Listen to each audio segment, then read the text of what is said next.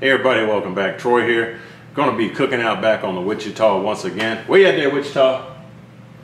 Wichita's coming up to temp, guys. So, uh, anyway, my buddy Keith Bettag, he said he's gonna do a meatloaf this Sunday, and he asked me to join in on the fun. So that's what we're gonna do. I'm gonna make my mom's uh, meatloaf. I'm gonna tweak it a little bit. Uh, my mom's been making this since the mid 60s. She found the recipe in the River Road cookbook, uh, which is down in central Louisiana. So uh, it's an old recipe, and I hope y'all like it just as much as I did growing up. Let me show you what goes in. All right, gang, here's what we got. I got some veal ground up. Uh, it's about a pound of it. A little over a pound of ground beef, 80-20, or ground chuck actually. Throw a little bit of pork in there as well. So I got three different meats going in. I did take a, a jalapeno and just diced it up real good. It's a couple of cloves of garlic.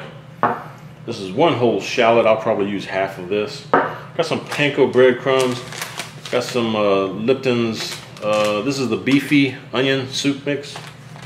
Got two eggs. Uh, my mom says she always used the golden mushroom condensed soup by Campbell's. So I got the golden mushroom. Gonna need a little bit of milk. Gonna need some onions, bell pepper, and celery. This is the Trinity, the Cajun Trinity. Got that already pre-made. Uh, calls for Worcestershire. I'm gonna use a little bit of Worcestershire later on, but right now for the meat and stuff, I'm gonna use some of this uh, steak, steak sauce right here. I'm gonna use some of this savory steak seasoning. I think I mentioned two eggs. There you go, Keith. A little bit of hot smoked paprika. Still loving this stuff, man. It's good stuff. And also from Keith Bettag, I got me some of this rich and tangy ketchup by Brooks. Keith said this is the bomb right here, so we're gonna check it out. A little salt and pepper to taste. I think that's about all we need to go in there. Let's throw it together. All right, first off, my veal. I'm gonna go in with some veal here. Get that diaper out of there. Get that out of here. Ain't that right, Moonshine? All right, and again, my 80-20 chuck going in. A little bit of pork. I don't need all this pork right here. My mom says she uses uh, maybe a quarter pound, a half pound. I'm gonna use maybe a third. We're gonna see how that works. Uh, maybe close to half. Anywho, just get you some pork in there. And this is just ground pork. It's not uh, hot, spicy, or anything like that, just regular. Now, we need some eggs. Put some eggs in there. There's a one.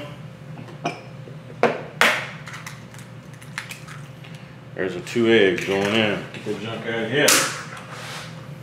Right on. Now again, we're gonna use some shallot. People don't use shallot enough, man. This is good stuff right here. Kind of cross between onion and garlic. Great stuff. Two cloves of garlic.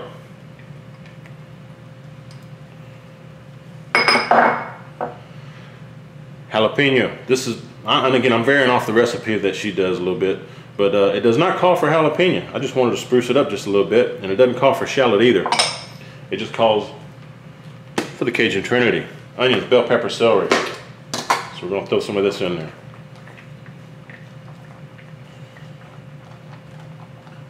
Just like so. All right. Got some of the savory steak sauce, uh, savory steak seasoning by Red Monkey. Y'all see me use that. Again, this is excellent stuff. We're gonna put some of that in there. Now, that's probably a tablespoon or so.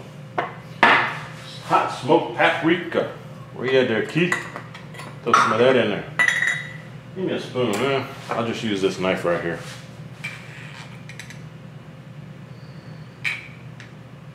Probably a teaspoon in there. Okay, there you go, Keith. A little bit more. That is some really good stuff. Pepper, just fresh cracked black.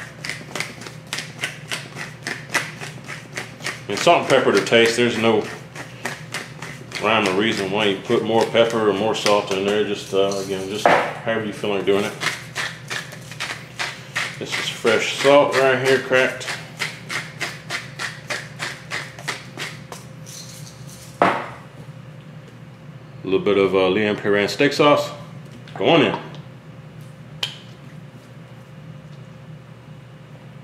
This is great on hamburgers too if you don't, uh, if you haven't tried it. It helps keep it moist. It's good stuff right here. What else I need? Some uh, milk. half a cup of milk. Going in. A little bit more, there you go. Get it right, T-Roy. Breadcrumbs. See how many breadcrumbs we need here. Breadcrumbs, we need one cup. I've got the panko breadcrumbs. That's what we're going to use. Half a cup, huh? All right. No, it's one cup. So uh, this is a half cup measurement, so I need a couple of these. One, about that much. There we go. Now get your hands in there and mix it all up. I'm gonna do that, we'll be right back. All right guys, I've been doing this about a minute and a half. As you can see, it's starting to get tacky and sticky. That's when you know that it's done. It's, it's mixed enough, everything's pretty much blended in. Uh, starting to stick to your fingers there. And what I'm gonna do, stick this in the fridge and just kind of let it set up, cover it. I'm gonna put some uh, some plastic wrap on there, just let it sit about half hour in the fridge. And again, Wichita's coming up to temp. And if y'all don't have a grill to do this on, by all means use your oven. That's people used to do that a long time ago, you know. Uh, preheat the oven at 325. Put this in a loaf pan, cook it at 325 for 45 minutes. Take it out, put you some topping on there if you want you know, some barbecue sauce or some of this that I'm fixing to show you here in a little bit when we get to that point. Uh, but once you put a topping on it, put it back in that 325 oven. It's 325 Fahrenheit, guys. But put it back in there for another half hour. And then take it out, let it cool. And it should be good to go. Usually anyway. Might want to just test it, but it should be good to go. So 45 minutes original cook. Put the topping on, let it go another half hour. That's the way my mama did it. And it turned out pretty damn good. All right, gang, I totally forgot I need to add this soup mix right here. It's just, uh, again, the beefy onion. Should have added this at the beginning. But I'm glad I remembered. And again, just mix this up. Let it sit for about uh, 30 minutes in the fridge. Let it hang out and let the flavors mingle up. And we'll meet you back out at the Wichita. All right, guys, it's been about a half hour. I'll show you what I got. Got my meatloaves here. See, there we go. That's just uh, just meatloaf what I'm gonna do to, to protect the top and kind of add a little flavor, put a little bit of bacon right on the top of it here like this.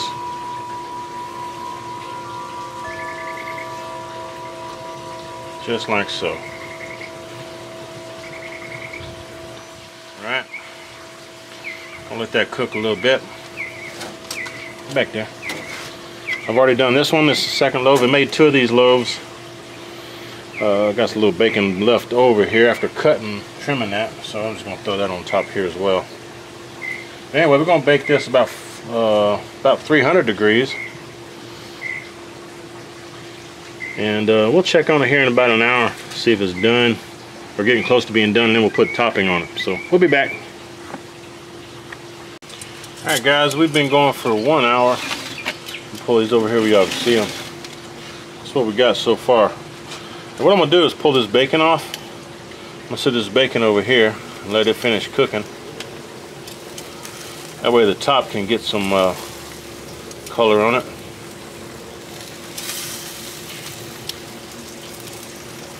And what I'm gonna do is, while this is going, getting the top all colored up, I thought I would uh, mix up the topping we're gonna put on here.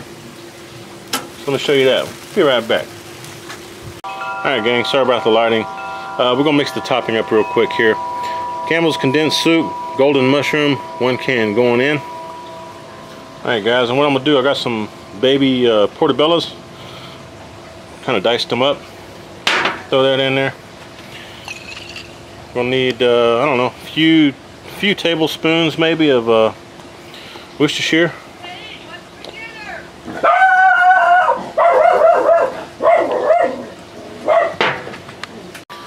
Alright gang, now we need to throw in a little bit of horseradish. I got this extra hot horseradish. Uh, I'm thinking, uh, I forget what the actual recipe says, so I'm just kind of guessing here. I think it said like three, three teaspoons. So we're gonna do that. Alright, now we need two thirds a cup of ketchup.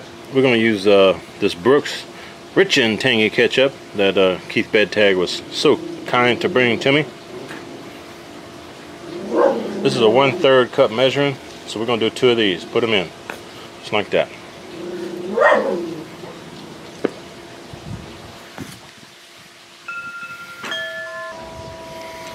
All right, now what you want to do is mix all this together. Stir it all up. This is going to be our basting sauce. All right, it's time to baste. I got my uh, sauce here. Just going to pile it on top. Let this go for another half hour or so. And we'll be in business. Well, it's going to be some good stuff right there. Mm-hmm. Alright, we'll be back after uh, it cooks for a little bit longer. Alright gang, two hours of cooking, that's what we got. And I forgot to mention I did rotate these like every 20-30 minutes as they needed uh, just to, for some even cooking. In fact, I layered this one back behind this one. I just pulled it up here close so y'all can see it.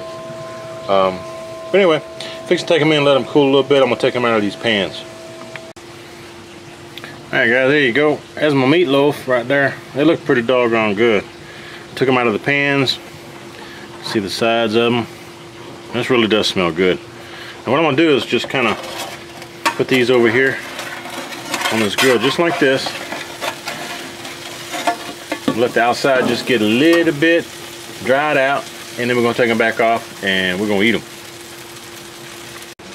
This is it guys. We are pulling this off. It's been uh, about 10 minutes on each of these sides. I flipped them around after 10 minutes. Let's check them out. Come on now. Get on over here, big old boy.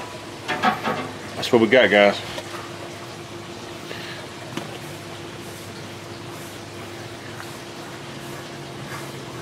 Think it looked pretty doggone good. Alright, we're gonna let it cool off inside and we'll be right back. Alright gang, check that out. That looks pretty doggone good, doesn't it? Sure does. Really, really good. Let's cut into it. Let's see what it tastes like. Can y'all see that? Oh yeah, you can see it good. Alright, we're ready. Aha. Oh man. I'll tell you what, this smells so awesome right now. At this nice big thick slice here A couple of them. Oh my gosh. I tell you what. Y'all see that? Mmm, Mm hmm. Garlic and stuff in there. Woo! Man, if y'all can smell this, no kidding, man. This is good smelling stuff. Can't wait to give it a taste. Alright, so that's what we got here. Let's give this a taste. Fix me a plate. Be right back. Hey everybody, welcome back. We're gonna check this out. Now see Keith, or Keith Bettag? Yeah, I kind of faked you out with that seafood type meatloaf, didn't I? It was really good though. But y'all check this out. This is a really good meatloaf. That's what we've got. And again, light's crazy out here. Hopefully y'all can see it. Get out of there. Anyway, let's give it a shot. Check it out. What do you think? There's your piece right there.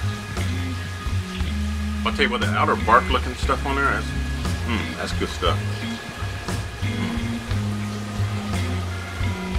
Mm hmm